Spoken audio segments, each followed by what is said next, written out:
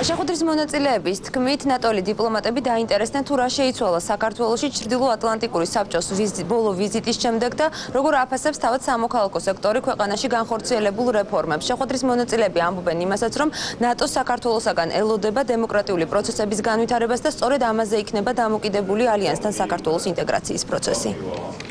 პირამე დააზიანებს დღეს ჩვენს ქვეყანას. იმასთან მიმართებაში ექნება თუ არა პროგრესი როგორც ქვეყნის განვითარების ასევე ნატო იქნება ეს თუ ევროკავშირი ამ ორგანიზაციებთან.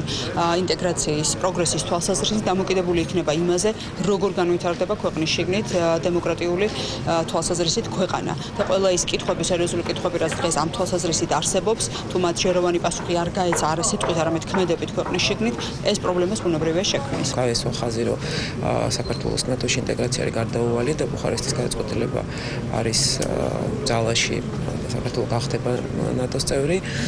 ბუნებრივია ამ პროცესზე გავლენა ექნება თუ როგორ განვითარდება დემოკრატიული პროცესები საქართველოში. ბუნებრივია ნებისმიერი მოქმედება მთავრობის, რომელიც რომელიც ხას უსვამს, რომელიც აჩვენებს, რომ მთავრობა ოპოზიციურ პარტიას დევნის არის ძალიან ნეგატიურად აღქმული ნატოს მხრიდან.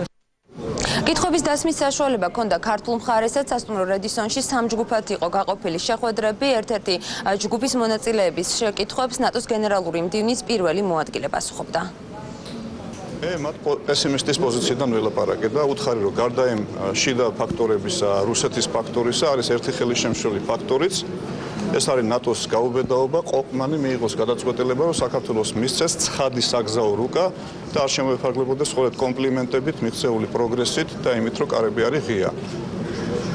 აა ყველაფერს ვერ გეტყვით, მაგრამ მათ დამარწმუნეს რომ პესიმისტებმა უნდა შეიცვალონ პოზიცია და ოპტიმისტებს აქვთ უფლება რო იყვნენ ოპტიმისტები. ხონდათ საშუალება რომ გამოგვეთქვა ჩვენი მოსაზრებები თავარ გამოწვევებთან დაკავშირებით, მათგან მიღებული პასუხი არის ის, რომ საქართველოს უნდა გააგრძელოს დემოკრატიული რეფორმები და რომ თავარი ამ კუთხით არის არაბმა ფუჭი მოლოდინების შექმნა, კონკრეტულად როდის იქნება მაპი, არამედ ის, რომ საქართველოს გააგრძელოს დემოკრატიული რეფორმები, განავითაროს ეკონომიკა, იყოს ჩართული ასევე ოკუპირებულ რეგიონებში მაცხოვრებელ მოსახლეობასთან სამოქალაქო სექტორის წარმომადგენლების შეფასებებს და მოსაზრებებს ნატოელი დიპლომატები დღეს თითქმის 2 საათის განმავლობაში ისმენდნენ.